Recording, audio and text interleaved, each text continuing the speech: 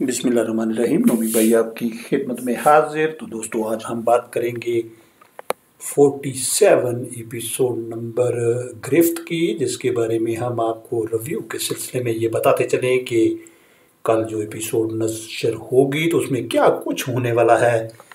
आखिरकार रूही जीतेगी, क्योंकि वो एक बच्चे की माँ भी है और तलाक याफ्ता औरत भी। तो दोस्तों, जैसे कि 18 से 28 साल के नौजवानों के लिए मैंने पहले भी पैगाम दिया था कि यही एज होती है उसको ज़िंदगी बनाने की और यही एज अगर आज की मशुकी में ज़ाया कर दी जाए तो उसके बाद क्या होता है? मासवा मुराद की तरह पछतावे के अलावा कुछ नहीं मिलता। रोमी भाई ने भी कुछ ऐसा ही किया, अपना तजर्बा आपके साथ शेयर करता हुआ बताना चाहता है कि जब पेरेंट्स ने मना किया कि देखो तुम्हारी उम्र अठारह साल है और उसकी, जिसके साथ तुम शादी करने जा रहे हो, उसकी उम्र अड़तालीस साल है। एक बच्चे की माँ है, तलाक याफ्ता है और चूँकि तुम्हें उससे हमदर्दी है, इसीलिए हम ये चाहते हैं, ये समझते हैं कि इसका कोई कसूर नहीं, ऐसा हरगिज नहीं होता। ताली दोनों हाथों से बचती है और जब तक दोनों मियाँ बीवी में थोड़ी सी भी सुलह की गुंजाइश हो तो भी हमारी जो कानून है, इस्लाम है, वो भी यही इजाज़त देता है कि इनमें सुलह करवा दो। क्योंकि अदालत का भी यही हुक्म होता है कि सबसे पहले इनमें सुलह हो जाए तो सबसे अच्छी बात है, क्योंकि इस्लाम में सबसे ज़्यादा नापसंदीदा फिर जो है वो तलाक को तस्वर किया गया है। और उसका हुक्म आया है कि तलाक सबसे नापसंदीदा फेल है इस्लाम में। ठीक है जी? तो इसी तरीके से अगर ये देखा जाए कि जी सारा कसूर इस औरत का नहीं है, उस बंदे का था तो ये हरगिज मानने वाली बात नहीं है। और ये आपके सामने अब वो हाथ जोड़ के बंदा बैठा है, मुराद रूही के सामने लेकर रूही जो है वो टस से मस होने के लिए हर केस तैयार नहीं है, क्योंकि उसको नशा है, वो एक कामयाब मर्द ढूंढ रही है और एक माँ होती है जो एक मर्द को कामयाब बनाने में अपनी उम्र तक लगा देती है।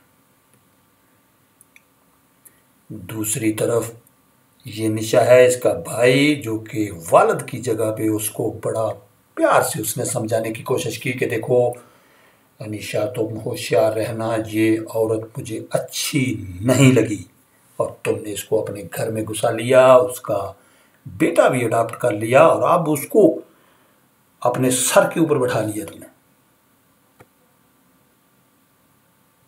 और मुराद को मैंने देखा है, खाने में भी वो जब हम खाना खाने के लिए बैठे थे तो भी वो डिस्टर्ब और बुझा बुझा सा था।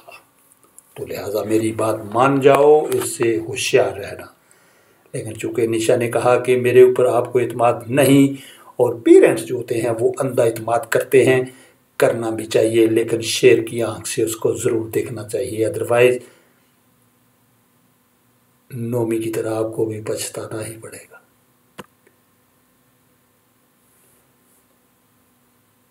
तो ये जनाब उसके कमरे में घुस आई है। मुराद के ऊपर हमलावर हो गई और मुराद उससे जान छुड़ाने की कोशिश कर रहा है, लेकिन उसने उसको जाल में फांस लिया है। उसकी वजह ये होती है कि इस तरह की जो चतर चलाक औरतें होती हैं, उनके पास 101 गुर होता है। अड़तालीस साल का तजर्बा है। एक बंदे के साथ उसने लाइफ गुजारी है और फिर उसे तलाक ली है। एक बच्चे को भी जन्म दिया है। तो ऐसे तो ये सारा कुछ नहीं होगा। और जब उसके पास एक ब्लैंक पेपर मिलेगा, उसके ऊपर वो अपनी मर्ज़ी की तहरीर जो है वो रकम करेगी। यही सारा कुछ रूही भी करने जा रही है और मुराद उससे हतुलवसा जान छुड़ाने की कोशिश की। ऑलरेडी उसके ऊपर इल्ज़ाम, वो भी उसने लगाया कि उस रात को तुम भूल गए जो कि नहायत ही बिल्कुल ड्रामा था। लेकिन उसने सच बनाने की नाकाम कोशिश भी की और ये अब उसको जनाब ज़बरदस्ती घेरे हुए और जैसे ही वो उससे को कमरे से निकल जाने का कहता है तो वो उसको पड़ जाती है जनाब और मीन वाइल निशा जो है वो कमरे में जैसे ही आती है तो ये दोनों शस्त्र होके उसको देखना शुरू हो जाएँगे इनकी चोरी दोनों की पकड़ी जाएगी और फिर क्या कुछ होने वाला देखना मत भूलिए। हमारे रिव्यू सुनने का बहुत बहुत शुक्रिया। हमारे साथ रहने का शुक्रिया। अपना बहुत सारा ख्याल रखिए जनाब। नोमी भाई को दीजिए इजाज़त। अल्लाह हाफिज़।